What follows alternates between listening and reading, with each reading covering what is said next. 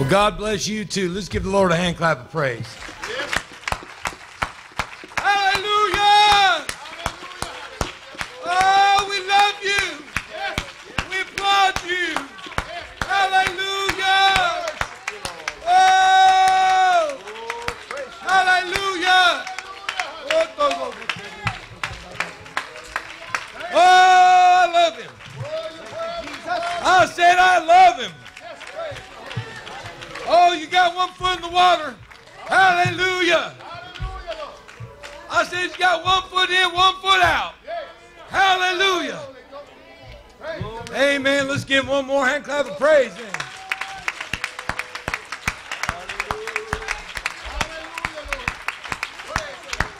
Oh, Jesus.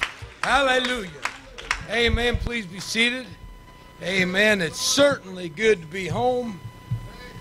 I was back this morning, but I had to I had to go do something for business. I had to I had to get to Houston this morning, or I would have been here for this morning. I guess I gave watch the rerun. Um, sounded like you had a good time. Amen. I don't want to spoil the the move of God. Amen. Just move me out of the way first. Praise God. But I, you know, God was dealing with me this morning, and and uh, you know, uh, I feel like I have a word for somebody tonight. Um, you know, I don't know exactly quite how to express it. I'm not, you know, most of you that know me, I'm a teacher. I like to teach. I get my preach on from time to time. But, uh, you know, the most important thing is the end result when we get in the presence of God. Amen. Whether it be the praise, whether it be the worship or the Word of God. I mean, the Word of God is the thing that moves me. Amen. You can jump and you can shout and you can dance and all that's fine and good, but I need to hear the Word of God. That's the thing. That's the motivating factor for Brother Bybee. Hallelujah. Amen. But you get a good beat for somebody and you begin to, you know, uh, come here come the, the storm and hallelujah. They start singing and boom, they take off running. Hey, hallelujah. We end up the same place. Hallelujah. Praise God. Amen. But uh, I never have let, you know, worship be the one thing that gets me in, alone that gets me into the presence of God. I just, you know, and uh, and the reason is, is I've heard, uh, I've seen so many uh, churches. I've been to so many places where they would uh, worship God and they would talk in tongues, and I'd feel a move of God. But when the preaching, when it came to the preaching, it was way off the mark. They would, weren't even in the Word of God when they preached, and so that for me, as a young minister, that was something that really turned me off. The thing that really really really got me when I was young in the Word of God was was the revelation of Jesus Christ, seeing it and understanding it in the Word of God. So to me, that's the you know real important thing to me. Um, we were up in Tennessee and we had a really good time while we were up there, and uh, I was kind of set aside when I went to go preach, and uh, you know God gave me a word for somebody up there, and we really had a good time. And uh, you know, so if you would have it, you would listen to me tonight. If you would receive anything, let it not be from me, let it be from the word of the Lord. Let God speak to our hearts tonight. You know, it's not so much the messenger. We need not look at the messenger, but we need to look at, at him, the king. Amen. Hallelujah. If I could take a passage of scripture tonight out of uh, Second Chronicles chapter 7. Amen. Verses 1 through 3. Hallelujah. And it says this Now, when Solomon had made an end of praying, the fire came down from heaven and consumed the burnt offering and the sacrifices. And the glory of the Lord filled the house. And the priest could not enter into the house of the Lord because the glory of the Lord had filled the Lord's house. And when all the children of Israel saw how the fire came down and the glory of the Lord upon the house, they bowed themselves with their faces to the ground upon the pavement and worshiped and praised the Lord, saying, For he is good, for he is his mercy endureth forever. Amen. His mercy endureth forever. Hallelujah. Amen. Father, in Jesus' name, I love you, God. I praise you. I just ask, God, that you'd anoint these lips of clay, anoint our hearts and our ears, God, that we would hear and receive something from you tonight, God. We love you, God. We're here, God, just to magnify you and to, to try to draw closer to you. And, if, and Lord, become more like you, God. Lord, I pray, Lord, that our hearts would be open, Lord, and sensitive to what you would have for our lives. God, I give you praise and glory and honor in the wonderful name of Jesus Christ. And everybody say in Jesus' name. Jesus name. Amen. Please be seated. Hallelujah. I'm going to try to preach tonight from just a subject of what you see is what you get. Amen. Hey! Hey, all right. Look back, it's there. Praise God. What you see is what you get. You know, while I was, you know, sitting there worshiping, I was listening to the song. I, I was brought back to a time when I was, you know, I was. I say young in the Word. To me, young in the Word was must be really young for some of you. I haven't. I've been living for God since 1999 when I got out of prison. But I remember a time I was hearing a, an evangelist from. Uh, uh, actually, he's a missionary from Africa, and he was telling a story about how um, the, the parents of, of, of, tribes they would have they have children and, and the way they identify those children were at very, from a very young child they would take it and they would they would take some sharp very sharp edge not cutting the skin but they would begin to draw on the lines lines on the face of their children and begin to, to, mark their children when they're very young and they just you know over a period of time that that scar would become a pattern on their face and everybody in the tribe would have this type of pattern and that's how that person was identified amongst the people. And and uh, you know I, I, I, reflected back to that just a while ago and I just wanted to tell somebody today that the scars and the and the trials of your past life don't need to haunt you any longer I'm here to tell somebody tonight that those things that have been plaguing you all of your life, they don't need to plague you any longer. Hallelujah. I'm telling you, you've been scarred. If you've been run down and you've been hurt by your past life, hallelujah. God can make you clean. He can and will make you clean. Hallelujah. And when our Lord God Almighty, He marks you, He marks you and seals you with the baptism of the Holy Ghost. Hallelujah. And you're no longer identified with that old life, but you're now identified with the family of God. Hallelujah. Hallelujah. Hallelujah. Hallelujah. Amen. Hallelujah. Can I get my water back? Y'all know me, right? Hallelujah. I like to have a good time and smile in church, and I'd make jokes. Gets me in trouble most of the time. Uh, pastor said you're preaching Sunday night. I said, "What? All right." I did something. I'm right. I'm back. I'm back on the back on the gravy train. Praise God. Hallelujah. Amen. It must have been a wonderful time in Solomon's temple when they had inaugurated Solomon's temple. What a wonderful thing that happened. You know what? I can't imagine, we don't even know where the, the original foundation was to that temple, but when the, when the glory of God fell on place, obviously it was such, such a wonderful, wonderful thing that the, they couldn't so much even see before them. They fell down on their faces and they began to worship God. I can only imagine, I can only imagine what it was like that day. I would look, I, I reflect back and I think it must have been like it was on the day of Pentecost. Hallelujah. I mean, we like to say we're in the Acts chapter 2 church, but just to be quite frank, we don't act like it. We don't act like it. Hallelujah. We jump, we shout, we, we talk in tongues, but hallelujah. We're only doing it in here, we're not doing it out there. Well, I'm just telling you how it is. You know, I'm just telling you how it is, you know, but uh, I would have liked to have experienced that, that, that inauguration of that temple, you know, and it was you know, the sacrifice. They sacrificed hundreds and hundreds and hundreds of animals and the blood, and it must have been a bloody gore. I mean, those priests, you know, they must have been working. They must have had a crew, an assembly line, you know, sacrificing those animals. Hallelujah. But it pleased God in such such a way that He came down and filled the house and the temple, and the glory of God was with them. Hallelujah.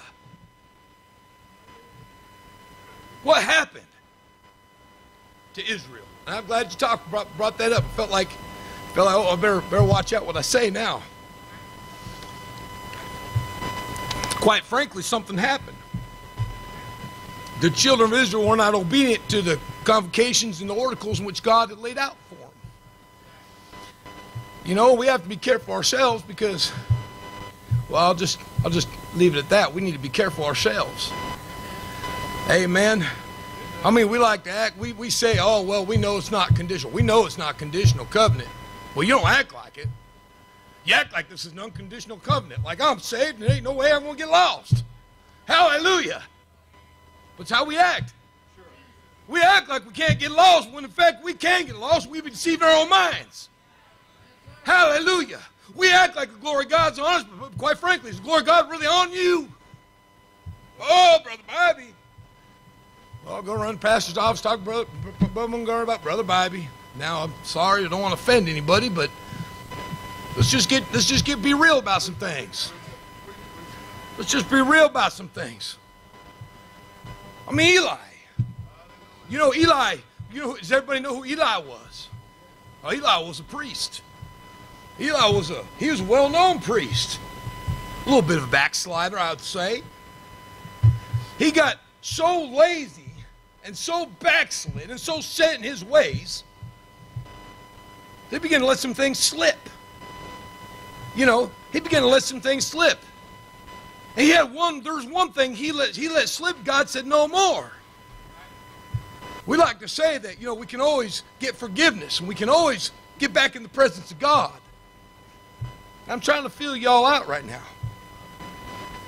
I feel God's got a word for somebody tonight. Oh, with Eli, just one day he just decided he didn't have to fill the lamp full of oil. I guess it just, you know, I guess there had been no move of God and he hadn't been feeling the anointing. You ever been there? You ever been a place where you came to church and you, you know you don't feel the anointing, so you guess you're just gonna go through the motions anyway? Give oh hallelujah, Jesus, Amen, Hallelujah.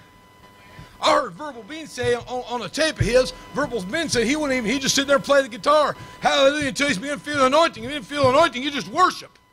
Until he felt the anointing. He didn't feel anointing, I guess they just keep worshiping until they felt the anointing. Right, right. Hallelujah. Somebody's going to get the anointing in this place, and we ain't going to have no church. Hallelujah. But Eli let it go, go, let it go to the point where he didn't no longer uh, uh, tended to the things of God.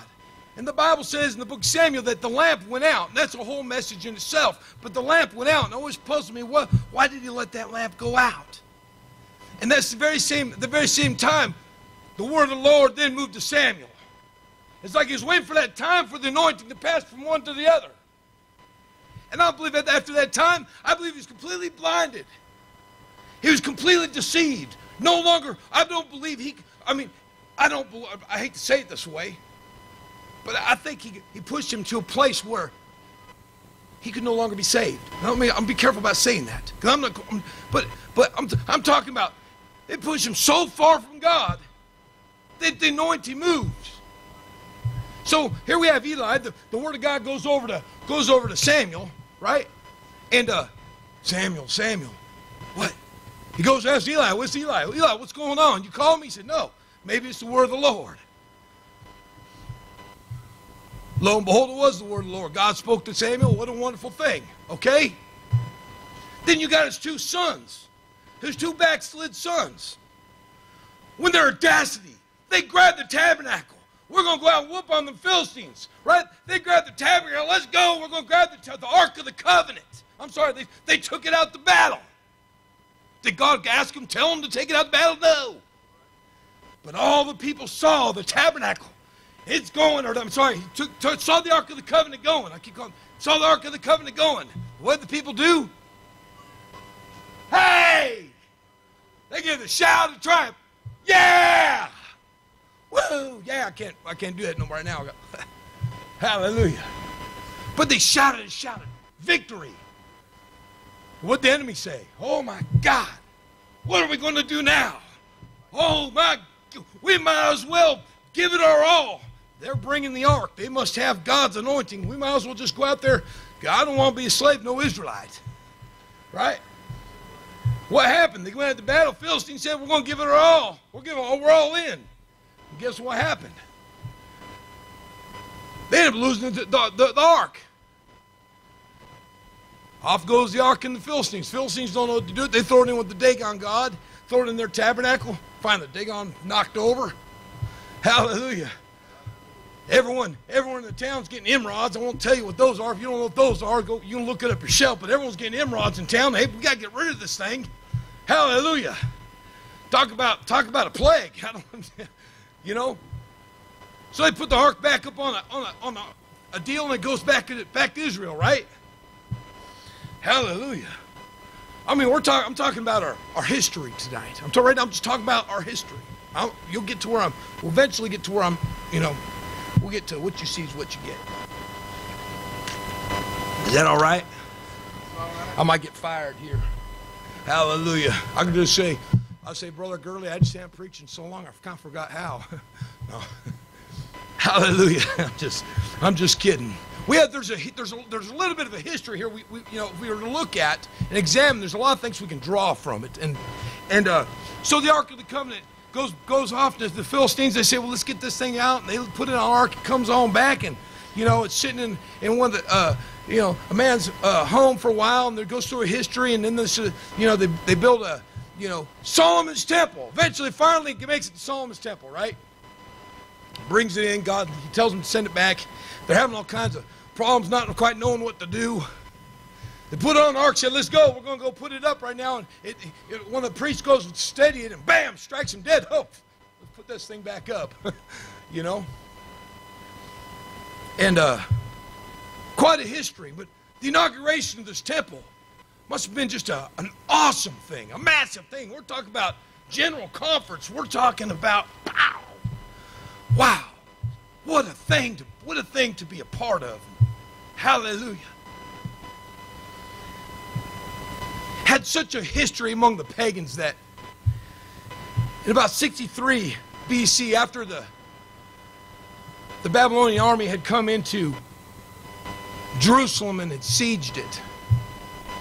They ransacked everything that was there and, you know, and they went into captivity for 490 years. And uh, Cyrus gives them a, a, a. Uh, they said, well, let us rebuild let us rebuild the city and sanctuary, and eventually rebuilt it. But it wasn't the same same sanctuary Samuel, Samuel built or Solomon. It wasn't the same temple. It was a different temple, a completely different temple altogether. And we never find in history nor in the Word of God the Holy Ghost, the power of God falling upon this temple. In about 63 BC, there was a, a Roman ruler named Pompey who had, who had taken Jerusalem and he went going to ransack it. And he had enough respect for the, uh, the oracles and the things of God not to, to take any of the furniture or any things that had pertained to the religion, but with his, with his high minded audacity, the man walked right in.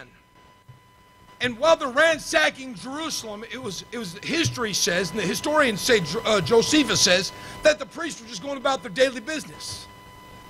As if, like, hey, you know, they're just coming and ransacking and raping and killing people, and they're just going about their business inside the, ta- the, the temple. Like, they didn't really care. They, it didn't bother them none. And when this, this Pompey character, he got there, the history, I read it, the history says it, he walked right in and opened up the holies to holies to see what's in there. He wanted to see what the big deal was all about. He wanted to see what it was all about. And you know what he saw behind the veil in the holiest of holies? Do you know what he saw in there? Absolutely nothing. Absolutely nothing. For how many years were the priests hiding the fact that they didn't have the ark? Just going through the motions, hoping nobody would notice, or maybe, maybe just not talking about the fact that the, the ark wasn't in there. My question is, what did they do with the blood? Well, I suppose it was just once a year they walked in, they poured it on the ground, they walked back out. Supposing, supposing that was the thing that pleased God. But where did the anointing go? Where did the anointing go? All this talk of this new temple and all this focus around this religious system and the oracles and convocations, everything went on in Jerusalem. Where was the ark? Where was the mercy seat? Where was the presence of God during those times? Hallelujah. talk about being destitute and truly without God. Not knowing their own heritage or not ever experiencing the heritage that their forefathers had experienced. When the power of God fell upon Solomon's temple, talk about revival. Ooh-wee. I'm talking about revival. Hallelujah. It was about, it was the second temple. The first temple was destroyed in about 50, 500, 538, 540, somewhere around AD or BC. The first temple was destroyed. I don't know what this focus on the temple is. Even today, they want to focus on a physical temple.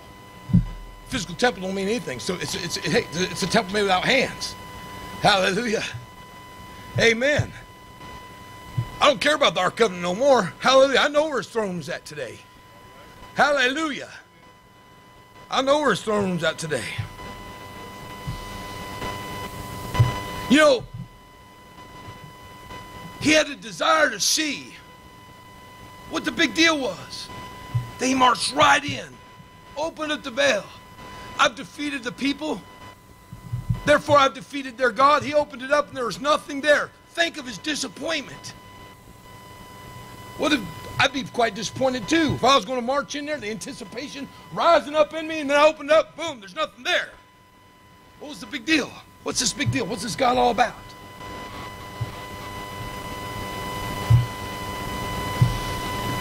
He saw nothing but an empty room.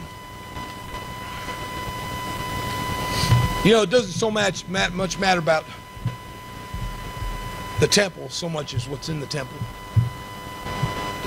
They say that the they say that the Herod's temple. They say in, in the history says that they say that Herod's temple was so glorious and there was so much gold that at nighttime it would glow. It like it, it, it absorbed all the light. It would glow even at nighttime, the darkest of night, that the temple glowed. A beautiful, magnificent thing. No wonder when the, the disciples said, "Hey, look at this! Look at this beautiful thing here! You know, look at this! Look at look what we have done here." Jesus Christ said, "Hey, there's not going to be one stone here that's not going to be thrown down." You know, this physical temple doesn't mean anything. Hallelujah. The outward beauty of Solomon's temple is far more grand than the tabernacle in the wilderness. Its beauty was known throughout the world.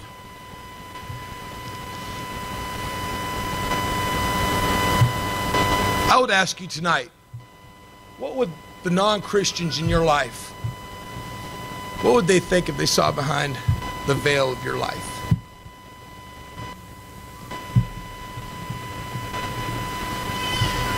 I'm just I'm just going to be real. I want to I want to see souls saved. If I could just say one thing tonight, that'll help somebody grow closer to God, then I, I think I've done what I needed to do. But I sincerely believe that the Lord is wanting to deal with somebody tonight about their situation, where they're at. It's not so much what we put on, it's what we have inside. And the outward should be a reflection of, of the inward. And in that temple, they didn't have anything inside it. Hallelujah. It's a frightening thing that in those days that the, when Jesus Christ came on the scene, he, he called the, the, the religious people of that day whited sepulchres, you know, uh, you know, full of dead men's bones. That'd be a frightening thing, you know, to think that, you know, I've got it right and I'm saved, to think that I've, I've got it just the way I'm supposed to have it, and to be lost without God. I mean, to, to really be fooled to thinking that I'm saved. I mean, Eli.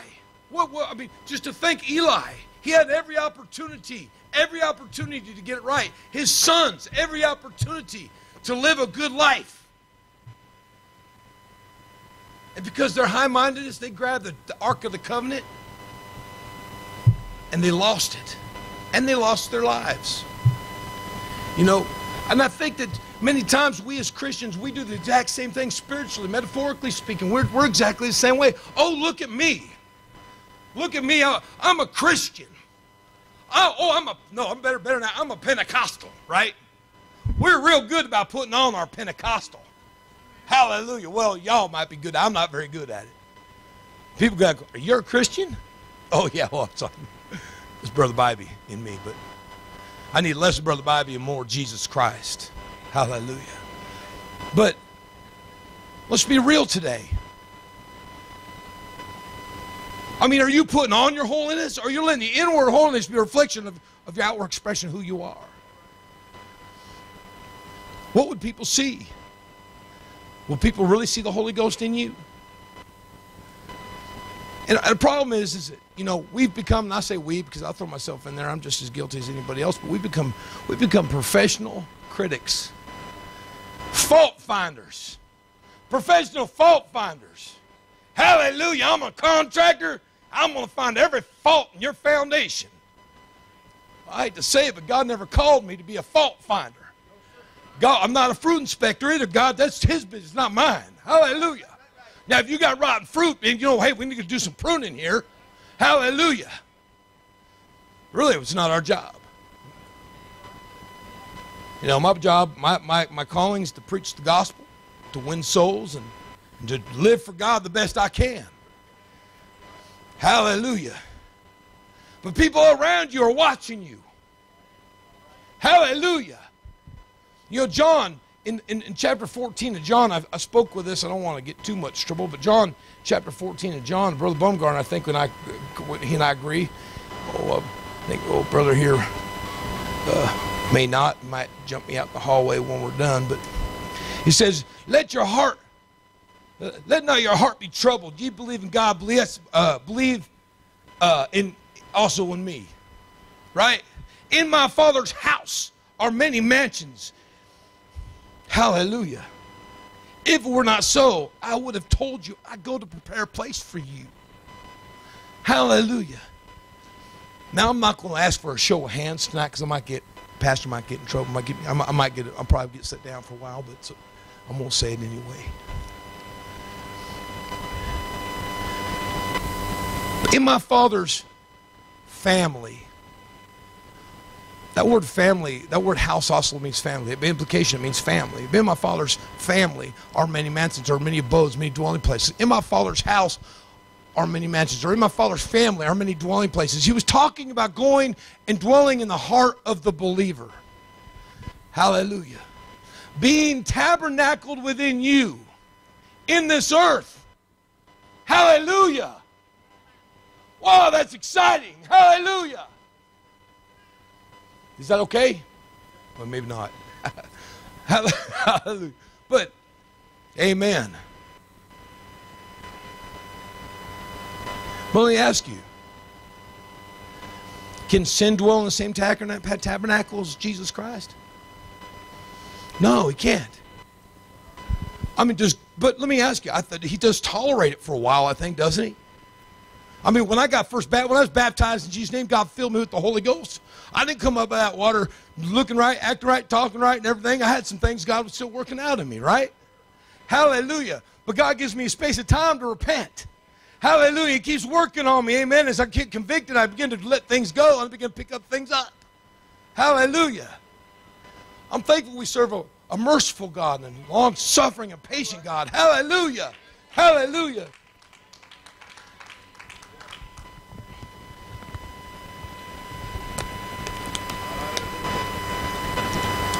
Hallelujah. I better hurry up. For real Campo, I'll be hearing Luby's. Hurry up. We're going to Luby's. Oh. Hallelujah. You know what I'm talking about, all. Praise God. Amen. We become professional critics and fault finders. And we need to be careful not to do that. Amen. We find ourselves accusing eh, rather than excusing somebody else. You know, um, I would rather cover my brother's sin than, than, than magnify it. Yeah, I think, and that makes me think back when, remember old Noah? I heard a couple drunks talking the other day about, oh, I know when he got done, he grew up a vineyard. They're drunk. They're drunk. They say he got a vineyard. He got some wine. They start drinking. These old drunks are talking about Noah. Man, it's the funniest thing. I'm watching this on YouTube, you know, thinking, my Lord.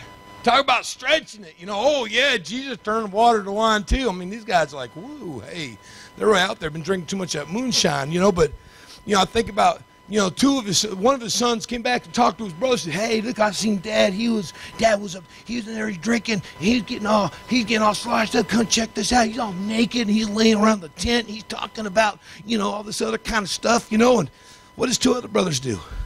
Man, they won't go look at their brother, their father's nakedness like that. They just, they, they got a blanket. and They've been walk backwards. They've been cover the brother, their father's sin. Hallelujah. Amen. But too many times you want to jump into the bandwagon, hallelujah, say, oh, look at Brother Bybee. Oh, I went over to his house. Man, he's got stinky socks laying around his office. You ought to see it. He's got Harley Davidson magazines, and he's got dirty wrench right next to his plate. Amen. He don't. He don't. He lets his kids run around, sling the diaper all over the house. You know what I'm saying? Hallelujah. Now, I would appreciate you just grabbing that old spiritual blanket, amen, and take a few steps backward and begin to cover my sin. Hallelujah. Hallelujah. Because I'm going to tell you something. If God's letting you see that, God's, God, oh, I know it's going to preach. Hallelujah. I'll probably get in trouble again about something else. That's okay. Hallelujah. But let me tell you something. If God's show, if you're seeing something about somebody else, it's not so you can criticize them, it's so you can pray for them. Hallelujah.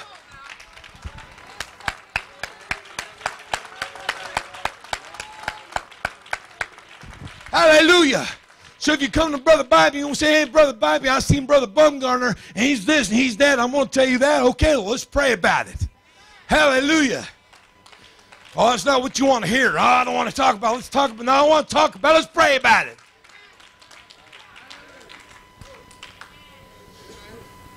Talk about what you don't want to hear.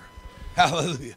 That's not what I, that's not really what I want to hear, Brother Bobby. I want to hear, let's talk about it. No, I don't want to talk about it. I want to pray about it. Hallelujah. Oh, but to this degree, the words of Scripture, Paul, what did he say about it? He said, with you are spiritual, restore such a one. You're so spiritual. See, we got too many people pretending to be spiritual, but they're not spiritual, they're carnal. If you're spiritual, let don't to put on your spirituality and begin to wear it around the church. Hallelujah. Anybody can do that. God sees that. God sees what's in too. Hallelujah. But if you really want to be spiritual, you're going to find a place to pray. Hallelujah. And that spiritual man inside you is going to, it's going to, it's going to move you to pray. I'm just saying. Hallelujah. I'm not talking about what we got on the outside. I'm talking about what we got on the inside. Hallelujah. I probably said hallelujah 15 million times. I wish I had, everybody give me quarter every time I say hallelujah. I'm, I don't, I don't like that. You know, I heard these guys go, hallelujah this, hallelujah that. I don't like, I mean, I'm being my best critic. Hallelujah. Amen. I'll throw an amen there, or I'll say glory. I'm just saying, you know, I'm just saying, I don't, I don't want to get, please don't get mad at me. Please don't get mad at me. I know, I know some people are in here right now, they're thinking, oh, I'm mad at you now, Brother Bobby. Sister, I love you, sister. I love your family. Y'all been y'all these this been a I I don't know anybody in here that I don't like. Well, my wife sometimes, but I still like her. No, I'm just kidding. There's not one person in this church I don't like, and you could you could beat me down spiritually, and, and I'd just be like, "What I do?" Because getting back to my title here, when you meet me, what you see is what you get. And that's really who, where we need to be. We don't need to be a glorious temple with nothing in it. Hello? Hello? I mean, last time I checked, I was a temple made without hands. I'm the temple of the Holy Ghost. And so when I see sin and when people get to gossip and talk to me, or begin to present things to me that are ungodly, hallelujah. Guess what? I begin to feel a little convicted. Now, there might be times in your life that you might just kind of yield to sin. And, and, and I'm going to tell you, I'm going to tell you like this, okay? I'm not your pastor. That's okay. You want to know why? Because if you got the Holy Ghost, you'll repent about it. And you'll correct yourself about it. And you might find the Holy Ghost just might do his job before you get on the phone and call pastor and confess to him. Then you might be talking to pastor next week and say, hey, guess what? I had a problem, but before I called you, I prayed about it. Hallelujah. I repented already. Hallelujah. Praise God. That'll work. Makes your job a whole lot. I mean, how long will God tolerate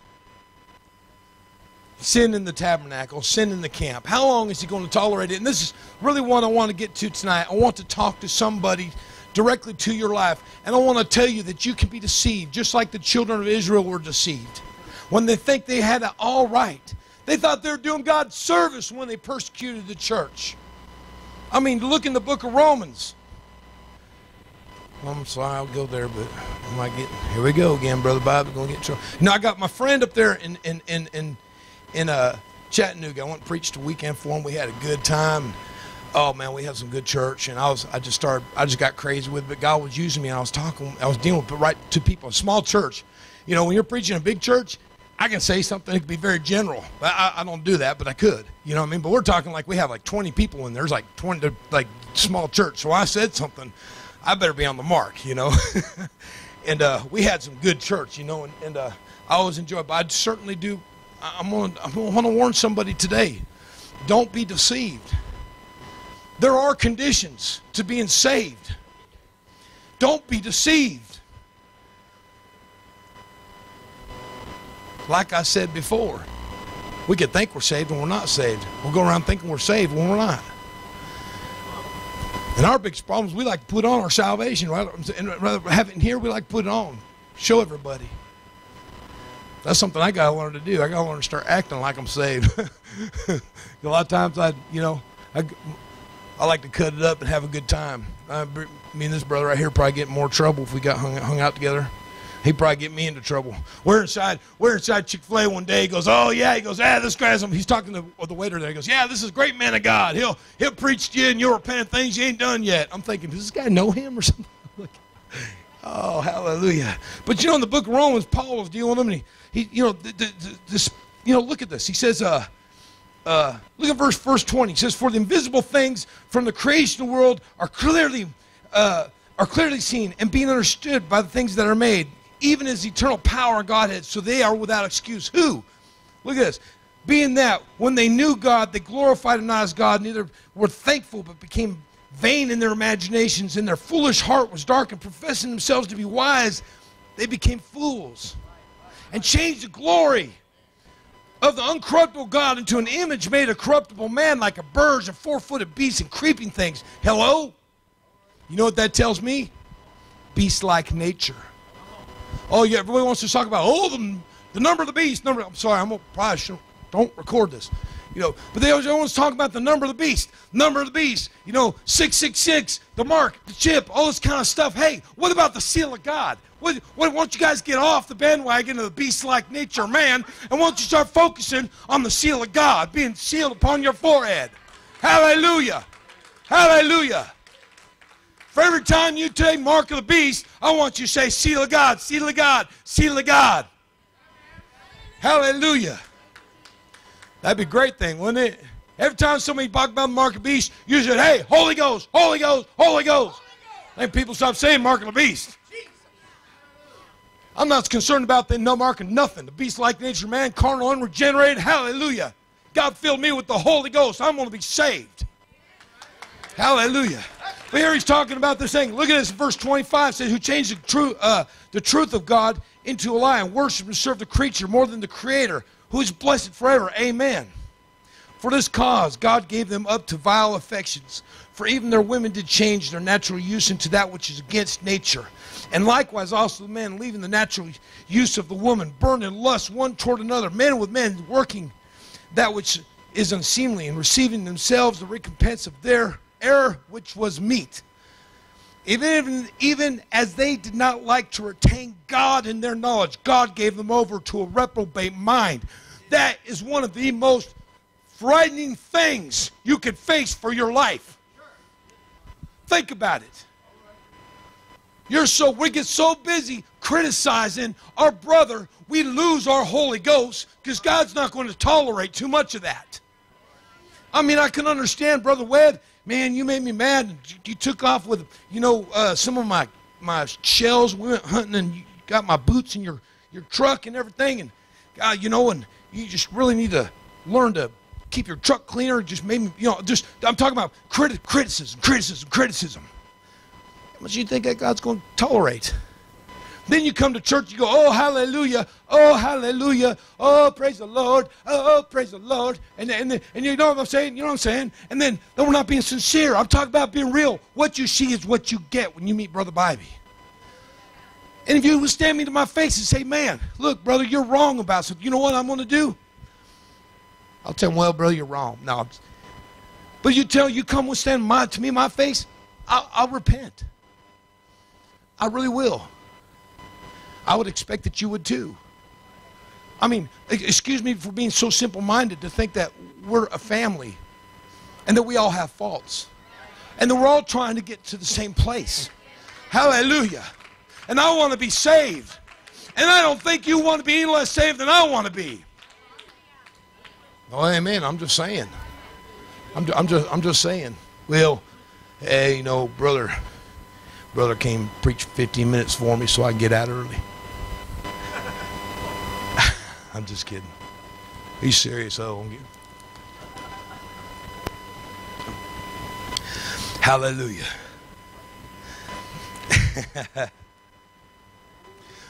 I'm just saying, but is it too much to ask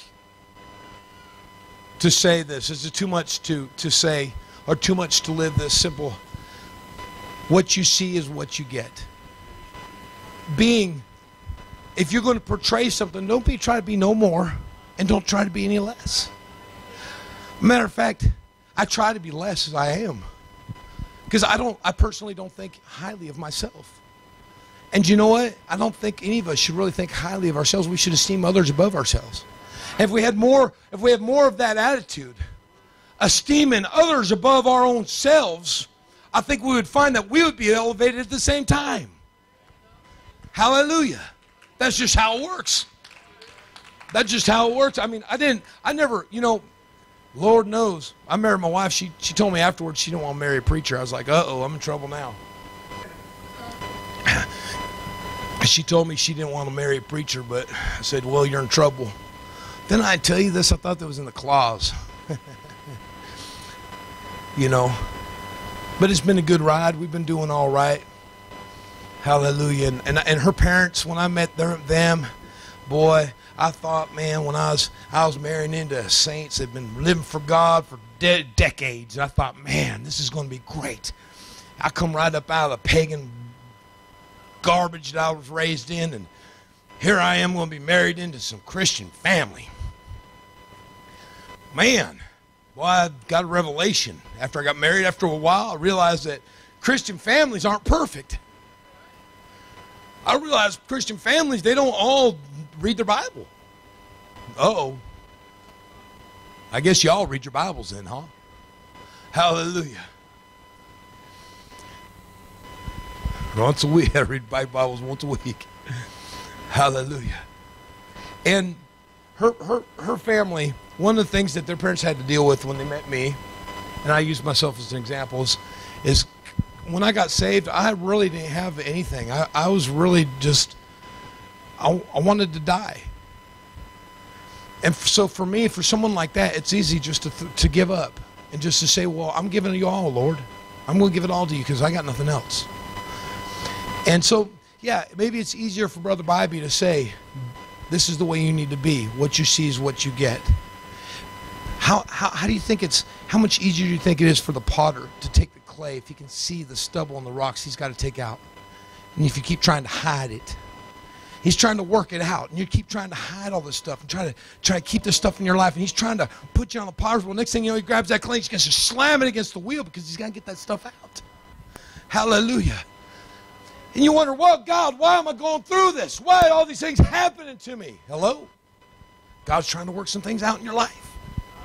Because you said, I want to be saved. And that's all you needed to say. Game over, Doc. He, you, you, he's, he's going to handle the business. And uh, her parents, my, my, and I'll, I'll pick it. I pick on them a lot when I preach, and they're, you know, y'all know when they see me, but they, you know, they love me probably more than they love their own kids. You know, I'm the son that they never had. And they, uh, you know, but one, of the things they really had a hard time with me is, is when they first met when they first met me, I, I really didn't have much shame in my game. I would I would go to a restaurant, I'd stand up, walk across the room, and talk to anybody about anything, anytime. I had no problem because when you've just thrown in your life, your life doesn't mean anything, and your life isn't yours anymore. Literally, it doesn't bother you. I'm not ashamed to go talk to somebody about Jesus Christ. And I mean, yeah, I didn't have a lot of tact. I'm just talking about me. I don't have a lot of tact. I mean, I'm still kind of learning, you know. But I have learned not just to get up, stand on the on the stool in the bar, and start, you know, hollering out "Jesus saves, Jesus saves." That doesn't really get people to come to church. Okay. I tried at Walmart. Walmart doesn't do it either. but when when I first when I first met him, we go into Waffle House, and and uh, I just I hear someone say Jesus, and boom, my eyes, my ears perk up. I start looking around. Oh, hey, how you doing? Praise God. I get real loud. Said, why you get so loud? I said, I don't know, because I'm called to preach. I want everyone to hear me. Hallelujah. You know, and, and uh, it, it embarrassed me. They learned to deal with me, and I learned to mellow out. We found a, a, a, a happy medium, right? They go out with me only when we go to very loud restaurants like Texas Roadhouse. They don't have a problem. Hallelujah. Amen. they just blend in. It's loud in this place.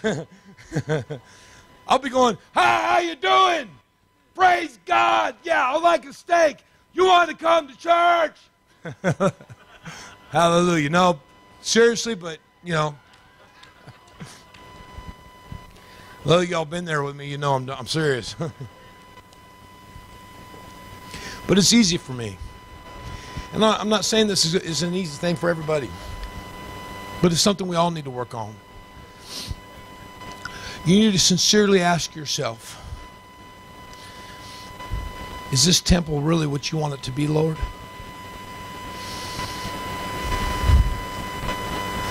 There was five things that was that were supposed to be in the tabernacle at that time.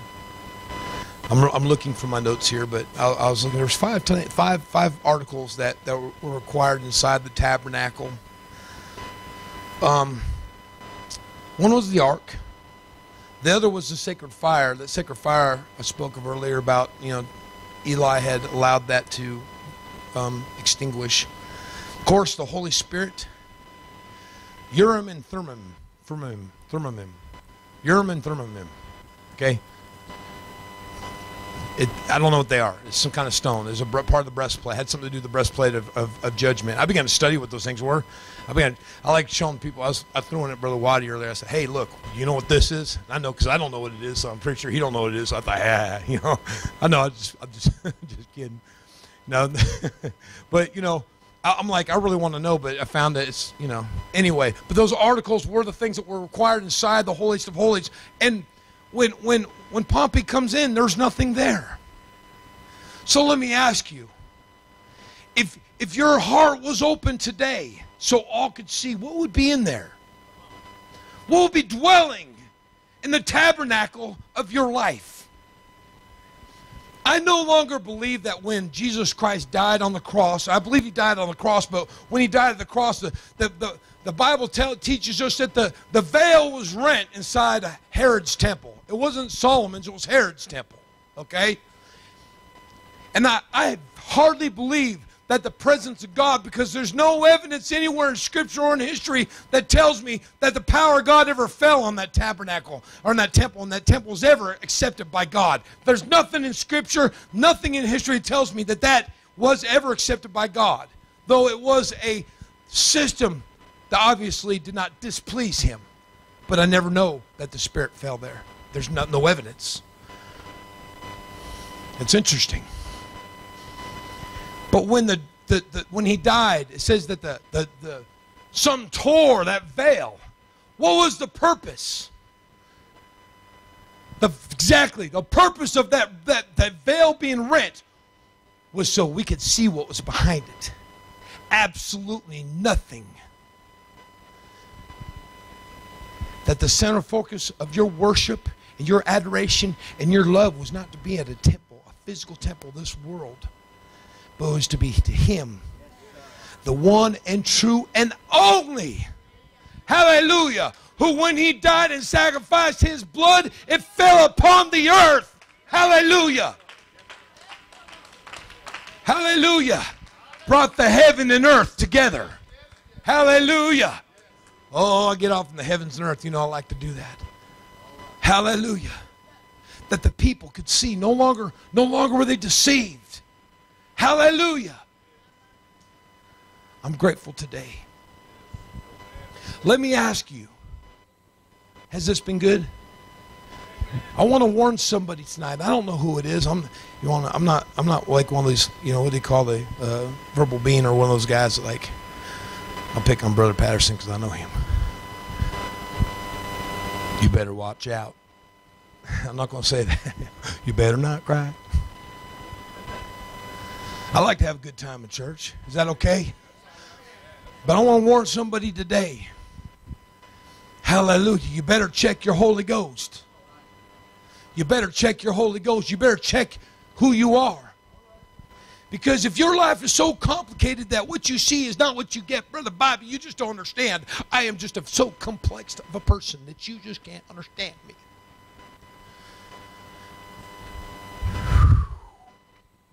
I want to be saved. And the simplicity of that is I need to keep a repentant heart. And when God is dealing with me, I need to yield to the Spirit of God and, and repent of my sin. And as the brother said, and I, I repented when he said it, repentance is not confession. That's Catholic. Repentance is to stop and turn around and go the other way and no longer do it any longer. Hallelujah. Boy, when that old boy said that, I was like, oh, oh, I got to repent again. I got to repent all over. Hallelujah. Hallelujah. Let's all stand. I'm going to open the altars here in a minute. I, you know, I want to warn somebody though. Please, I don't sound the trumpet, but if you've been deceived today, if you think you just got it right, I got it right. Check yourself. Do you find yourself being critical about your brother, your sister? Because you just might find yourself being deceived with all uh, deceitfulness and unrighteousness in them that perish. For they hold not a love for the truth that they might be saved. That God will send them strong delusions to believe a lie. That's church people being deceived by God because they will not yield to the presence and the calling of God at a simple altar. Hallelujah. Where the mother rubber meets the road as our Savior came from heaven. He yielded, he submitted, he laid down his life. Hallelujah. And that blood, that everlasting cleansing flow, fell to the earth. Amen. That we might have access into the holiest of holies forevermore. Hallelujah. Will you come and come to the altar? If it's you, you feel as if I was speaking to you, I'm gonna I plead with you today, please, please do not leave this place until you've got a hold of God. I've got things in my life. I've got situations. God, I need help. Hallelujah. Lord, make Hallelujah.